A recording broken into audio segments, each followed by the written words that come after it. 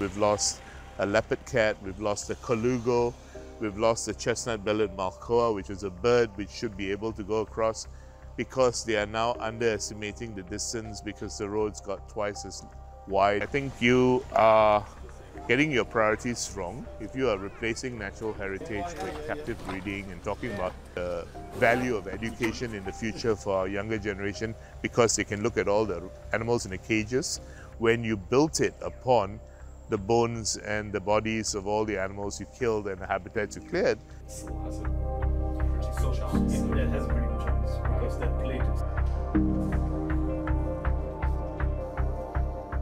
We do understand that development is disruptive. You know, it does displace animals from a location. It does change their pattern of behavior.